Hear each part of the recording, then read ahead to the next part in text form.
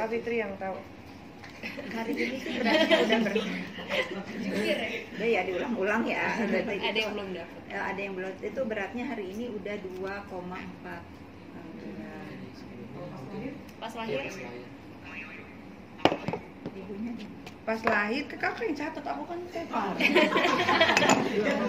badannya 4,4 2,3 tapi semuanya semuanya baik Kaniki ini kan pas lahiran yang azanin kan suami kamu Suami itu tadi ada tuh. iya suami Gimana rasanya sih? gimana rasanya sih Gak ditemenin sama Oh, suami. biasa aja nggak ditemenin suami, banyak suami yang lain yang namanya. iya, maksudnya nggak harus jadi melo, apa sedih, nggak ditemenin suami. Suaminya Kak Fitri udah baik banget mau ngazanin, udah kayak apa ya, udah kayak brother lah gitu.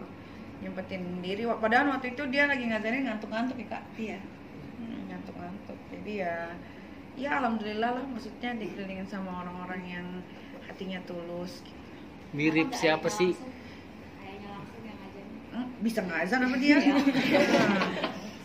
kan itikaf katanya iya, itikaf di Kemang.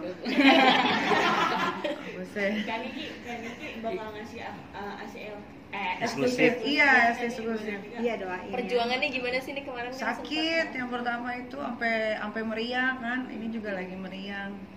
berarti bakal Karena kan adiknya belum bisa langsung ngasih dari sini ya, Bu, gitu. Jadi harus dipompa gitu. Nih sampai memutuskan kan rencana kan lahiran di luar negeri Mm-mm. jadinya di Eka Iya karena itu karena tadi kan karena jahitannya udah menipis jadi udah nggak cukup waktu lagi untuk uh, nyiap nyiapin di luar ternyata di sini juga bagus kan di Eka Hospital jadi ya udah di sini terus deket sama Kak Fitri kalau di rumah sakit lain nanti sebatang kara nggak ada yang nemenin ya. jadi pemilihan jadi pemilihan rumah yang sakit paling di sini. takut kan sebetulnya Niki sama kalian nih kalau misalnya lagi gemeteran mau masuk wah ditanya-tanya gitu. Makanya waktu kapan-kapan itu bilang aku belum pernah ngelahirin di luar negeri. Ya hayu aja kalau mau gitu kan. Tapi setelah kita pertimbangkan eh, ya rumah sakit di sini pun kan keamanan dan semua semuanya itu udah hampir sama lah sama luar negeri. Nggak bisa naik kan? Ya nggak bisa naik. Ya nggak bisa naik ya. Pokoknya gitulah. Ya pokoknya di sini eh, apa saya terima kasih lah di apa dijaga gitu ya.